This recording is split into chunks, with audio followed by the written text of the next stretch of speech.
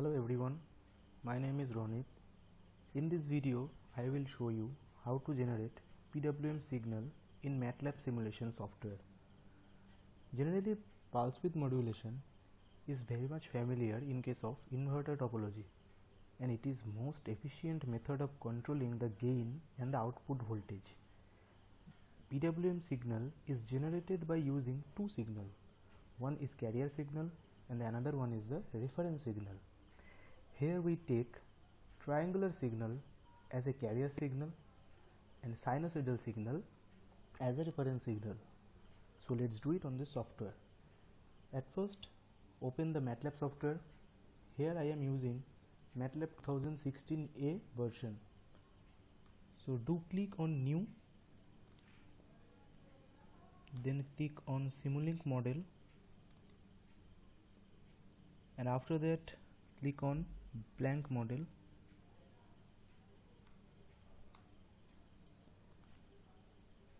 Here a blank model is open. After that click on the browse library.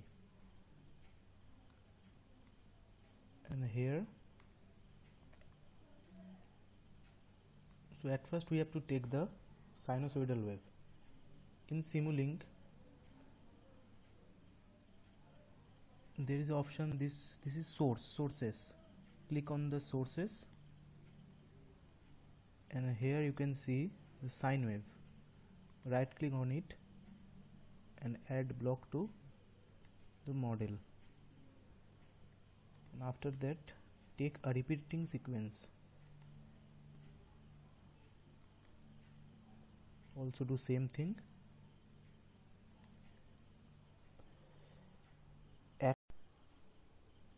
so after this go to sink.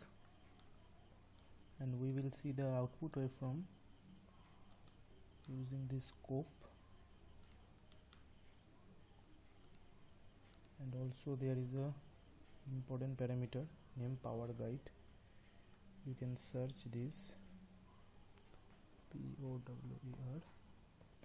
Powergui and press enter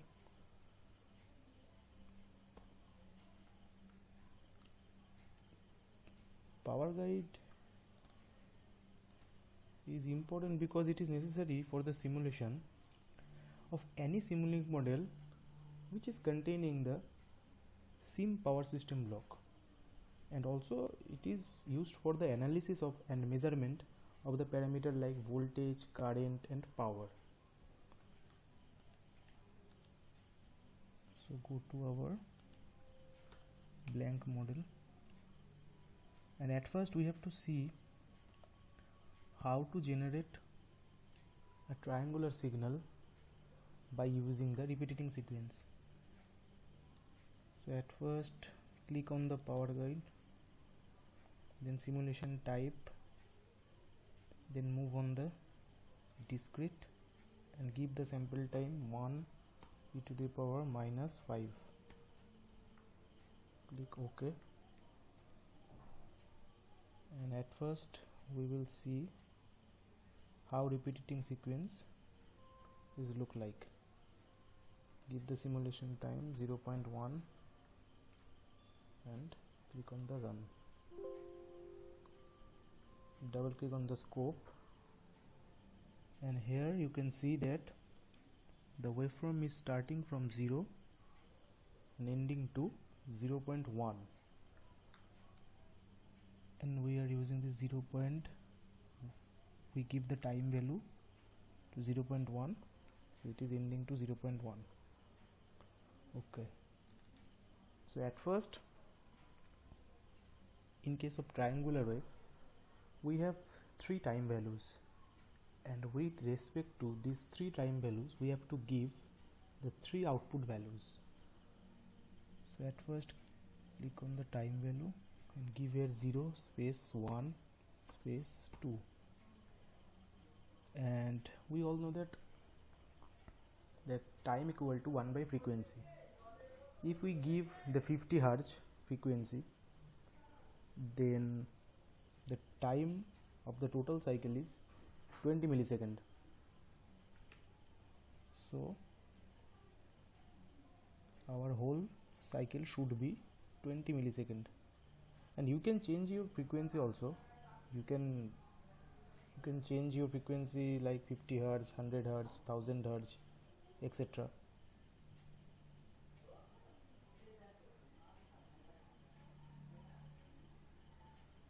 so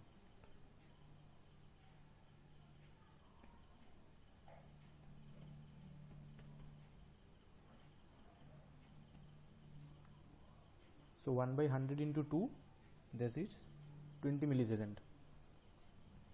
So we give the frequency. And with respect to these three time values we have to give the output values. 0 space 1 space 0 and ok after that run the same thing check on the scope that our triangular wave is made by using repeating sequence. So after that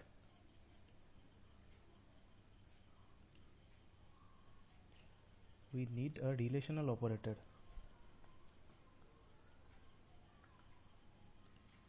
So go to the library browser and here Simulink model. There is a commonly used block.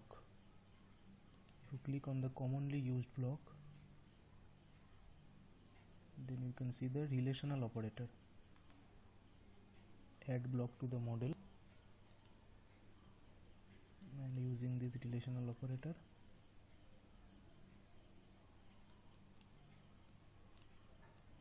okay at first mm, to click on the sine wave and give the frequency. Here the frequency is omega. That we know that omega equal to 2 pi f. So you have to give 2 into pi into 50 so generally we give the 50 hertz frequency and omega equal to 2 pi f. Click ok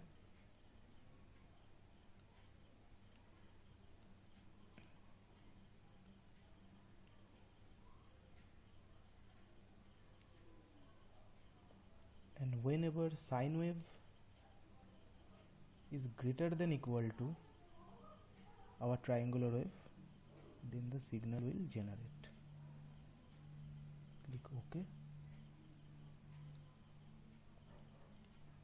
Double click on the scope and click on the settings configuration properties and then click on the number of input ports. 2 click ok.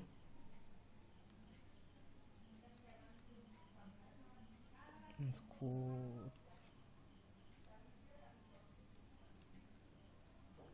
and see the two inputs. That is one is our okay if you are facing this type of problem then go to the solver. Model configuration parameter and then go to solver. Then change this is this from variable step to fixed step and the solver. Change it into Runge-Kutta an additional option. Give the sample time 1 e to the power minus 5 click ok. And then do the run. And check. Hmm, the problem is solved. So